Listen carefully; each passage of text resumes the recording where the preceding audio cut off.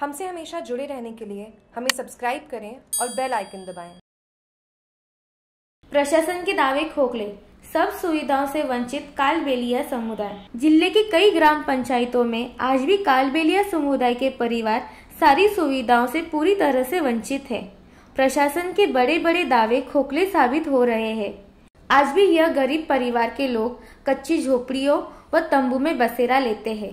ना तो पंचायत सुनती है और न ही प्रशासन इनकी सुनवाई करती है। अनेक ग्रामों के बाहर इनके तंबू देखे जाते हैं।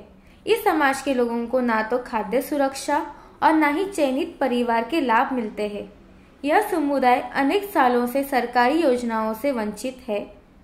इनके पास ना घर है, ना पानी है, ना बिजली है, ना शिक्षा है। मारवाड़ उपखंड और हर ग्राम पंचायत में इनकी संख्या बहुत ही ज़्यादा है। यह समुदाय प्रशासन के चक्कर काट काट के मायूस हो बैठ जाता है, पर इनकी सुनवाई नहीं होती है। इस कालबेलिया जाति के लोग सरकारी मूलभूत सुविधाओं से कोसों दूर है। मारवाड़ जंक्शन से जागरूक टीवी की रिपोर्ट।